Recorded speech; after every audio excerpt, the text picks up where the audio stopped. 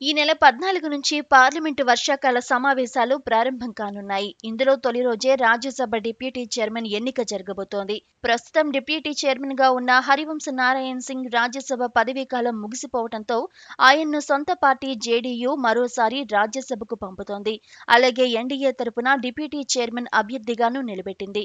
Rajya Sabha deputy chairman అభ్యర్థిగా హరివంశ నారాయణ్ సింగ్ను నిలబెట్టిన NDA ఎగువ సభలో తమకు పూర్తి మెజారిటీ లేకపోవడంతో ఆయనకు మిగతా పార్టీల నుంచి మద్దతు కూడగట్టే పనిలో ఉంది.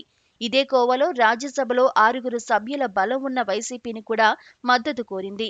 ఎన్డీఏతో పాటు జేడీయూ తరపున కూడా రంగంలో నిలిచిన హరివంశ నారాయణ్ సింగ్కు మద్దతివ్వాలని ఏపీ సీఎం వైఎస్ జగన్మోహన్ రెడ్డికి బీహార్ సీఎం నితీష్ కుమార్ నిన్న రాత్రి ఫోన్ చేశారు.